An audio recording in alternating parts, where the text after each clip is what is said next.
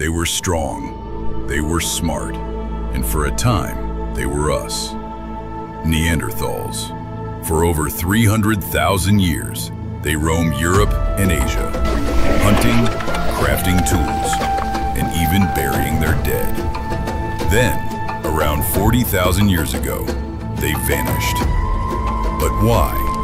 They shared the planet with Homo sapiens, our ancestors. Thousands of years, they even coexisted.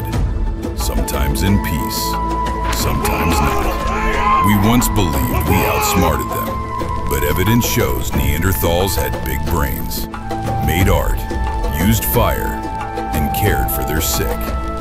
So what happened?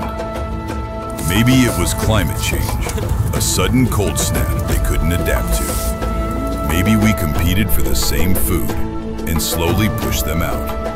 Or maybe we didn't destroy them at all.